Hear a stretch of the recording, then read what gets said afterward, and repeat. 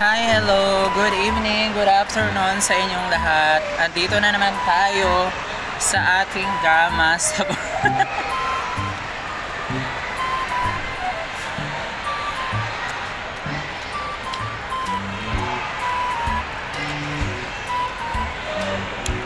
Kain po tayo. Hello sa lahat ng mga OFW, mga on.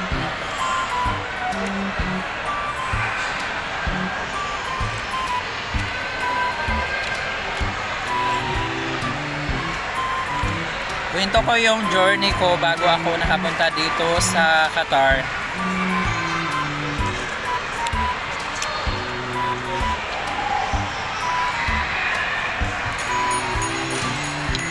So yung Qatar is pangalawang country ko na pala to. Yung first ko na country na napuntahan is Saudi. So maganda din mag-experience doon bilang isang OFW. Kasi pag nag-apply ka sa ibang bansa, kahit saan saang bansa, madali kang masilig ng employer kasi kasi nga yung pinaka-strict na country is Saudi Arabia. So, goods yun siya na experience.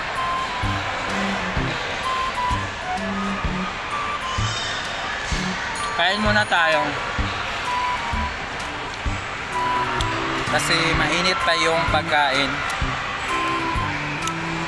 Tapos, bago pala ako nag service ko sa Saudi, nagtrabaho muna ako sa Jollibee.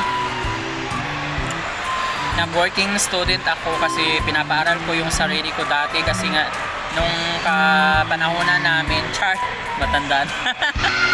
Yung time namin is wala pang mga scholar scholar na yan. So ngayon mas kuan kayo. Kasi may mga scholar na dati wala pa yan.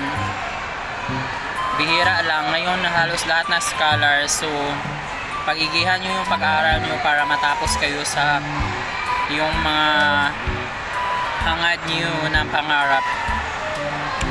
Kain muna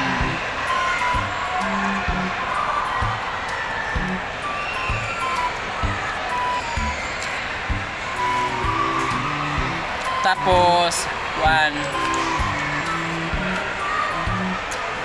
hanggang first year lang ako nag college sa Cagayan Oro sa APCA Cable 2 Academy. Yung pinuha ko HR, HRM, Hotel Restaurant Tour Management.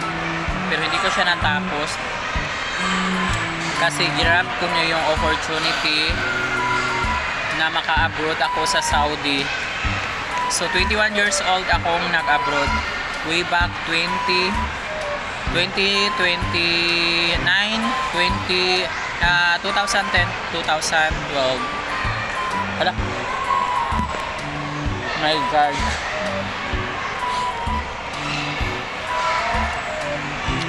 So ayan. Bakit ako nag-desisyon na mag-abroad? Kasi dahil sa kahirapan ko ng buhay alam mo na yung buhay probinsya mahirap talaga pag walang pera di ba?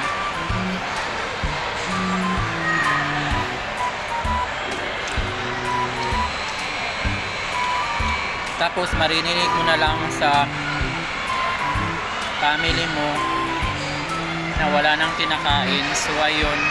Kaya nakapag-decide ako na mag-abroad na lang ako at least makatulong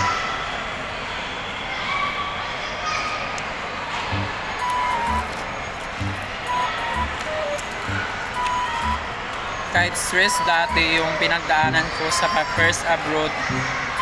Pero nahulog siya na kuan na hindi siya legal kasi yung visa ko is kuan daw construction worker. Kaya hindi ako nakapag-renew sa kontra ko doon. Kasi bawal yan. So nag-decide ako na umuwi kontra makulong ako doon. Kasi bawal na siya tapos ginawa sa amin. Pero okay lang naman siya. Natapos ko yan yung kontrata ko. Pero hindi ako nakapag-renew. Nakapag-decide ako na umuwi na lang. Kaming lahat na batch umuwi.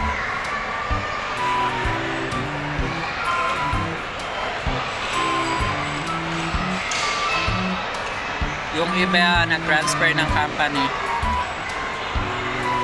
Pang isa lang yung nakatransfer. Kaming lahat umuwi. Dahil dahil nasa visa namin, hindi siya angkop sa trabaho namin, so bawal yun. Tapos, umuwi na ako ng Pilipinas, nagtrabaho ako. Pagdating ko doon, umuwi ako ng 2012, nakapagtrabaho ako sa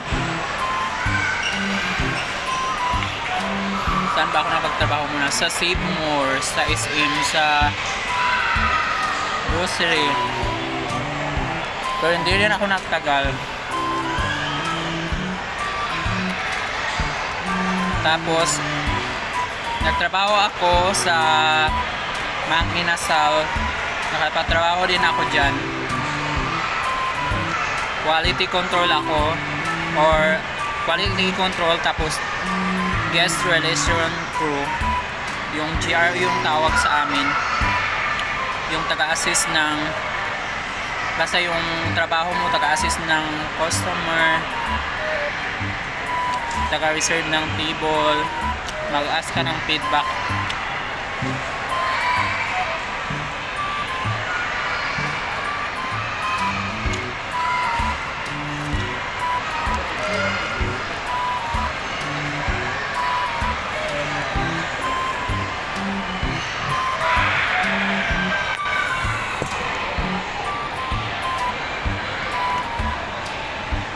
So ayun, nakapagtrabaho ako sa Juan sa Jura Mang Inasal for more than year din siya. Pagkatapos parang gisumhan ako. Nagsawa na naman ako sa trabaho. Nag-apply na naman ako ng natanggap ako sa Juris Grill as a fry production. Na regular ako dun mga 2 years din mahigit. Tapos pagkatapos na stress na naman. Gusto na na ng bagong trabaho. So nagtrabaho ako as a sales associate sa Robinson Iligan kami yung pioneering doon. Kami yung nagbukas. Kami yung nag basta lahat naghakot para kaming kuan doon mga kalabaw dati. Hello, shout out sa inyo sa Robinson, Eligan, Juris Grill, tapos hello sa lahat ng mga nakapagtrabaho sa Jollibee. So pag may experience ka na mga ganyan, hindi ka na makuan, mahihiyang mag-apply or mag-alinlangan kasi matatanggap ka talaga kasi yung hinahanap nila is work experience. Yung mga employer.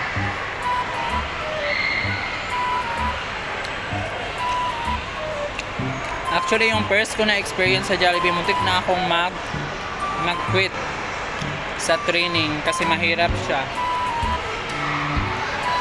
Kasi sa price station ako nalagay. Tapos, mahinin tayo. Char!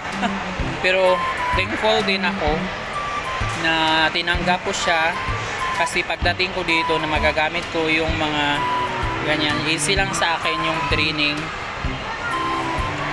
Laban lang. Tapos yon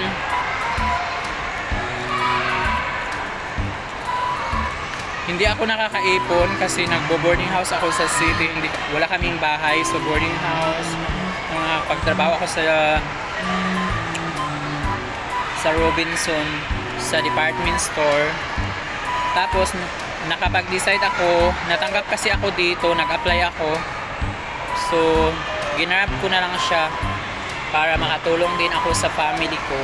So ayan nandito na ako ngayon sa journey pero matatapos na rin yung journey ko kasi may bago na namang pinto na magbubukas sa aking opportunity. Ginanap ko na naman siya sa malamig na lugar. So watch watch out. Abangan yung mga reveal natin. Yung bago nating trabaho and bagong lugar. So abangan yan soon sa ating mga drama na darating. So ingat ang lahat. God bless everyone. Tatapusin ko man yung kain ko. Bye! Naka-break lang ako tapos nag-content. Sino yung naka-chat, naka-relate dito? Kumakain, nagko-content.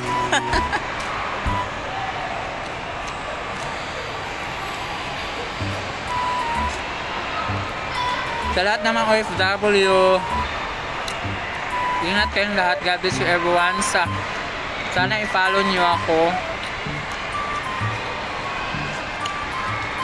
Kahit puro lang ito yung mga drama ko. Ingat ang lahat. God bless you.